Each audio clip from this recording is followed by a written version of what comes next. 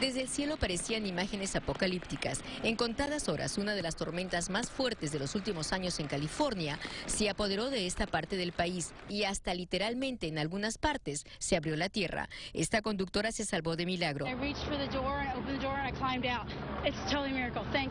Su carro cayó en uno de estos hoyos y fue rescatada segundos antes de que otro carro cayera sobre el de ella. Otro milagro se produjo cuando este carro bombero también cayó en uno de estos hoyos en el condado de San Bernardino. Sus ocupantes salieron a tiempo. Cientos de vehículos quedaron atrapados cuando las aguas convirtieron en ríos, calles y autopistas. Con estos, estos días sí se ha, ha pasado bastante este problema. Las autoridades declararon estado de emergencia de norte a sur.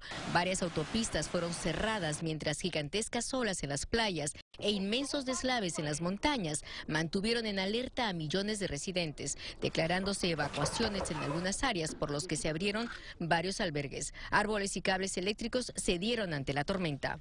Este, este, este tiempo hemos estado bien, bien uh, andamos para arriba, para abajo, bien ocupados. El mal tiempo le dio un respiro a la ciudad y una marcha que ya estaba programada desde hace varias semanas bajo el lema Santuario para Todos se llevó a cabo sin ningún problema. Es, una marcha eh, convocada uh, por la comunidad inmigrante indocumentada para decirle a la gente que no tenga tanto temor, que es, es muy importante, ¿verdad?, que nos muévanos del temor a la acción. El buen tiempo también permitió que los aeropuertos normalicen sus vuelos, se realicen trabajos de limpieza y se evalúen los daños. Al menos cuatro personas han perdido la vida a raíz del aguacero. En esta temporada de lluvias ha movido los cimientos del subsuelo tras años de sequía y ha embalsado represas como las de Oroville, al norte de Sacramento, que está siendo monitoreada atentamente por las autoridades. En Los Ángeles, Liliana Escalante, Univisión.